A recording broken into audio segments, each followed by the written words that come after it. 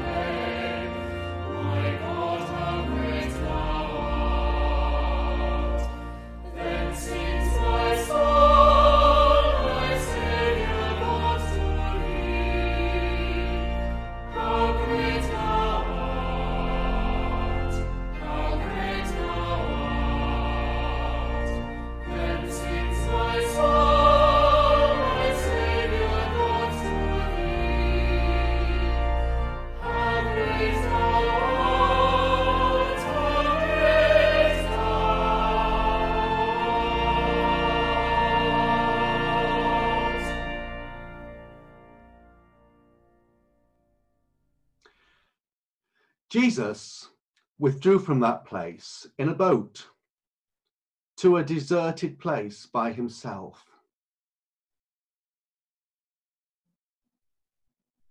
But when the crowds heard this, they sought him and followed him on foot from the towns.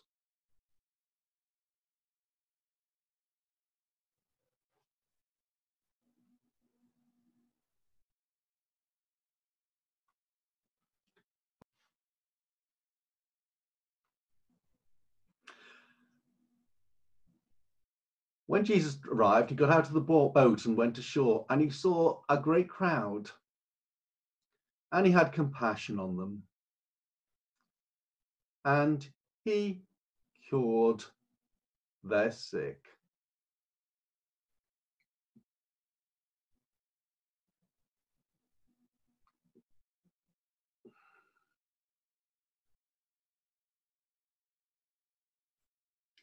And when evening came, the disciples came to him and said, This is a deserted place, and the hour is now late.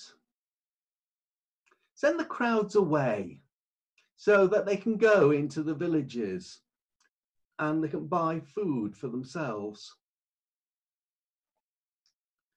And Jesus said to them, They don't need to go away, you give them some food.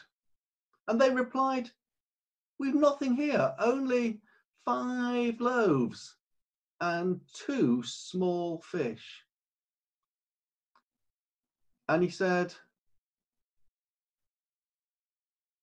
Bring them here to me. And then he ordered the crowds to sit down on the grass and taking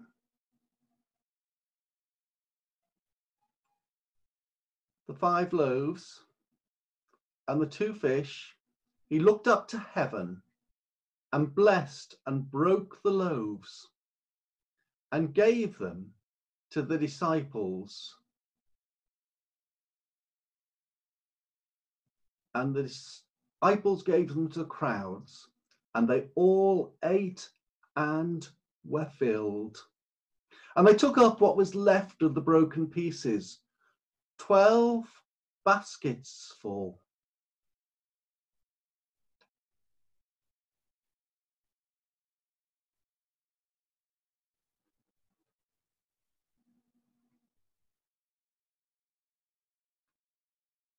Twelve baskets.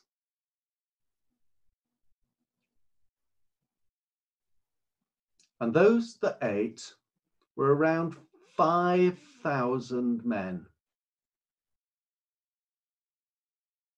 plus the women and the children.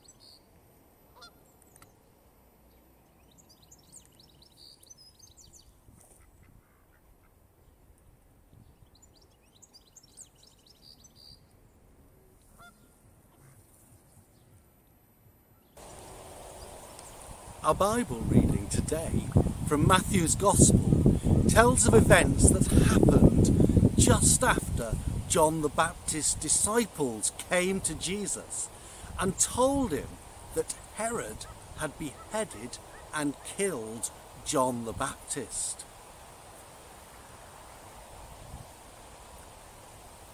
So, Jesus withdrew from there to a deserted place by himself. Now, that might have been a strategic retreat in case Herod's curiosity and his wife's scheming turned against Jesus. Or maybe he just needed time to reflect and mourn the loss of his relative, friend, and fellow preacher, John.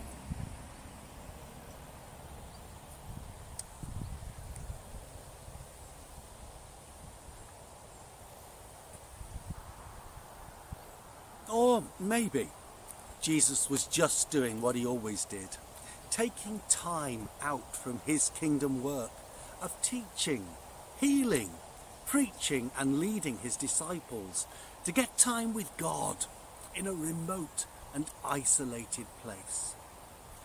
But as they often did, the crowds followed him.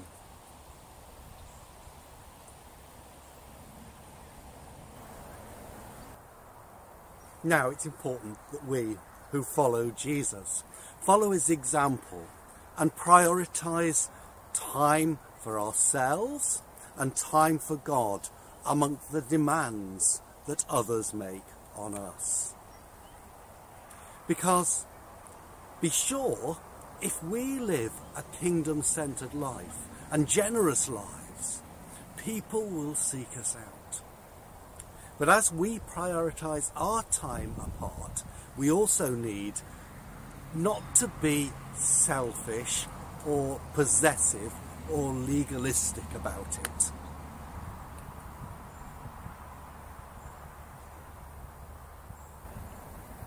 When the crowds followed Jesus, even though he was seeking time apart, we read that he had compassion on them.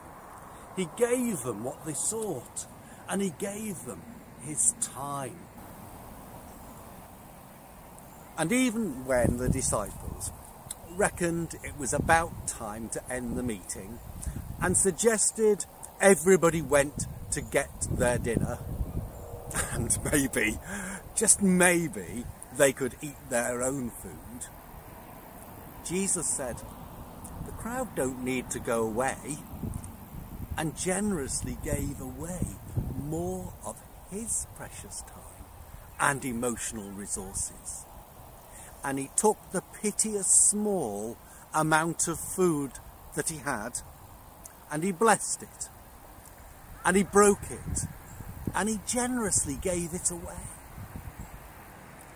And in the process, Jesus and his disciples and the crowds saw a wonderful miracle take place in their own hands, as if the healings were not enough in themselves.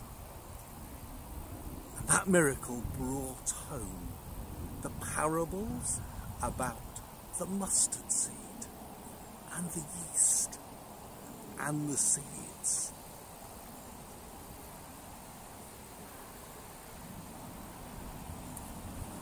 And if we offer to God our time and resources and generously share them with others, we'll soon see miracles in our own lives, won't we?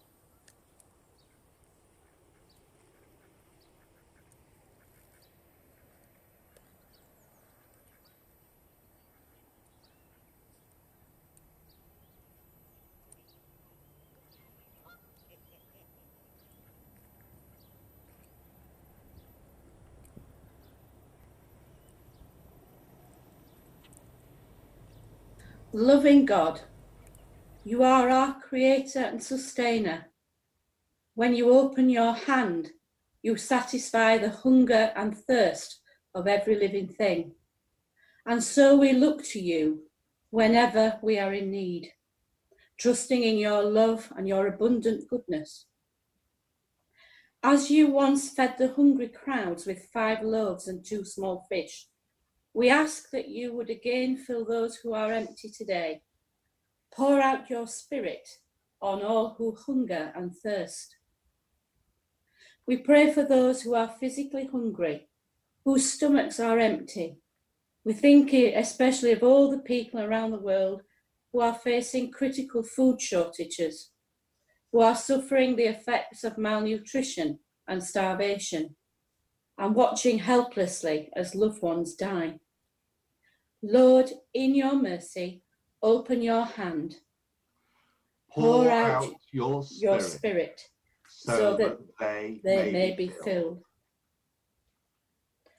Especially in these difficult times of the COVID 19 pandemic, we pray for those who are empty emotionally, who are lonely and long for companionship and love, who are caught in the grip of depression or overwhelmed with grief.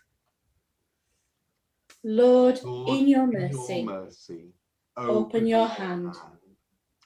Pour, pour, out, your, your spirit, that so that they may be filled. filled.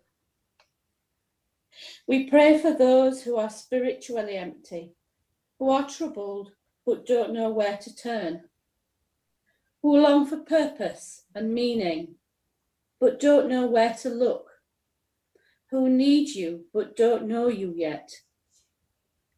Lord, Lord in, your, mercy, mercy, open, open your, hand, your hand, pour out your spirit, that so that they may be filled.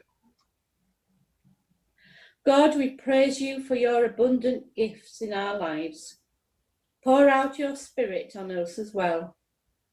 Fill us with your compassion and love so that we would willingly share some of your love, care, and compassion with those who have need. Lord, Lord in, your, your mercy, mercy, open your hand, pour, pour out, out your spirit, spirit so, that, that we, we may be filled. filled. We pray for those who continue to suffer ill health whether from COVID 19 or other life threatening conditions. Lord, support those who face the trials that the end of life brings. We pray for families who cannot be with their loved ones or say goodbye in the way they would like. Lord, Lord in, in your, mercy, mercy, open, open your, your hand, pour, pour out, out, your spirit, your spirit so, so that, that, we may be filled. filled. We pray in the name of Jesus Christ, who came so that all humanity might come to know the abundant life that comes from you. Merciful, Merciful Father, Father, accept, these, these prayers, prayers, for the sake, for the sake of, your, of your Son, Son our, our Saviour, Savior, Jesus, Christ. Christ. Amen. Amen.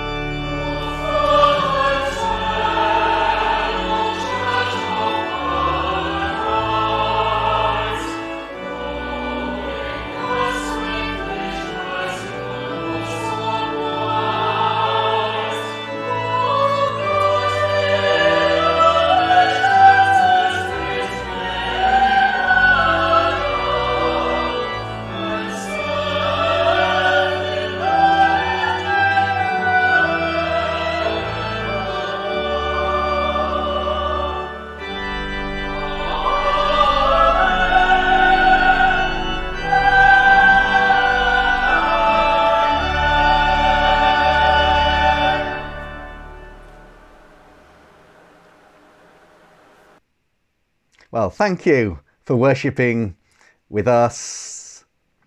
It's been absolutely brilliant to have you here. So, um, before you go and uh, switch off, I just want to remind you to uh, like this video and please, if you can, subscribe uh, to this to this channel on YouTube, and you'll see that there's a little subscribe button. Uh, or you can look for a photograph of me at the end of the video in a circle and you can click on that. But what, what happens when you subscribe uh, to one of these YouTube videos? Well, you'll see more of our videos, more like this one. And uh, another thing you'll do is you'll help us um, in our mission and outreach. Um, so other people will, who are watching YouTube will see our videos in the, the, recommendations down the side and maybe they'll click on it and join with us uh, as we worship together and that will help our outreach. So thank you very much and remember to subscribe and see you all next week. Bye!